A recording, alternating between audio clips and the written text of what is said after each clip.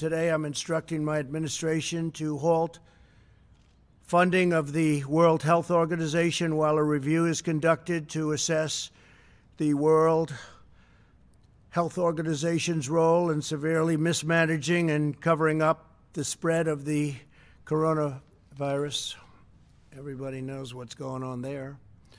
American taxpayers provide between 400 million and 500 million dollars per year to the WHO. In contrast, China contributes roughly 40 million dollars a year and even less.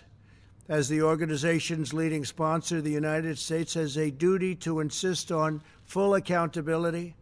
One of the most dangerous and costly decisions from the WHO was its disastrous decision to oppose travel restrictions from China and other nations. They were very much opposed to what we did.